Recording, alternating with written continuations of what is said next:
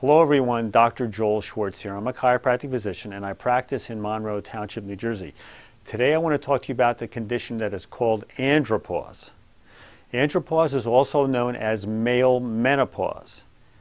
And the characteristics of andropause are really a decrease in the three V's, namely vigor, vitality, and virility. Now you don't have to have all three. Any combination of the three will suffice you to possibly having andropause.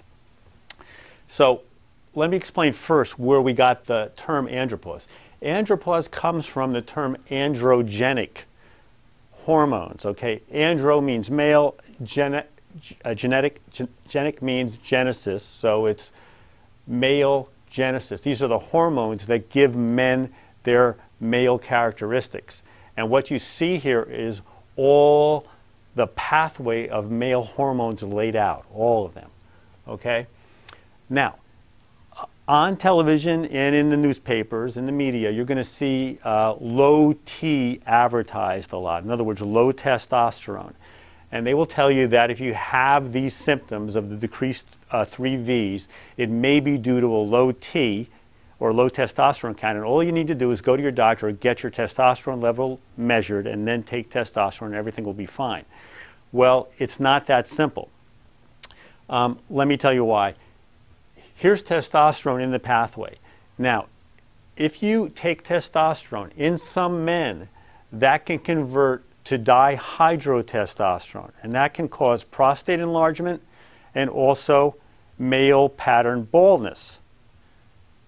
Now, another thing that can happen if you take testosterone is it can convert to estradiol in this pathway. And estradiol is a female hormone generally, okay, and that can give you breast enlargement, okay. So just giving testosterone may not be the answer. In some men it may work, but in some it may not.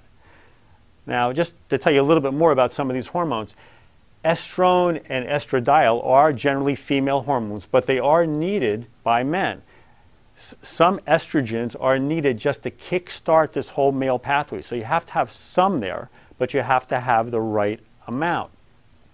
Progesterone also is known mainly as a female hormone. Okay, but if men don't have enough progesterone, and it's mainly made by men in the adrenal glands, if you don't have enough progesterone, then your DHT level can go up, giving you again prostate, prostate hypertrophy. So all these hormones have to be in balance. That's the point. And you can't just test testosterone. You have to test all of them. Okay?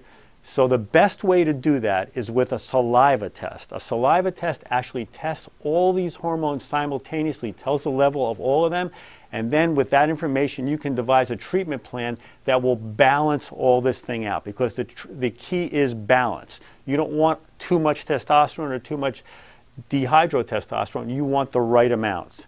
So that's what we do in our office. We test these with saliva, get all your all the information, and then we devise a treatment plan that is basically diet, herbal and nutrient treatments, and exercise to help you balance this. And that I think is the best way to first look at this before you think about taking testosterone. Of course, in some cases, testosterone will be needed, but this is a very safe and accurate way of looking at it first. So if you have any questions, please, my contact information uh, is at the end of the video. Please don't hesitate to call me. I'll be glad to answer your questions.